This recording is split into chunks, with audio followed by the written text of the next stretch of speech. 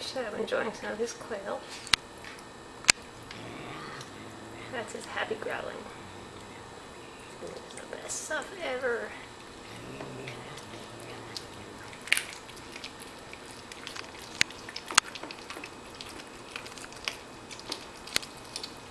And Brody is under the table, or under a chair rather, just demurely nibbling, and Paula's over there.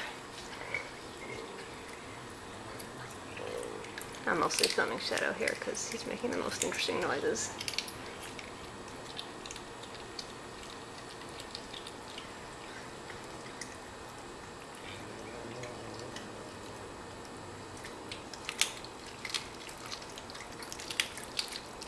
He's eating like a third of a quail here. Hi Shadow, you like your bird? Of course he does. Silly question. And I, I do disinfect the floor after this, so hooray for normal Liam.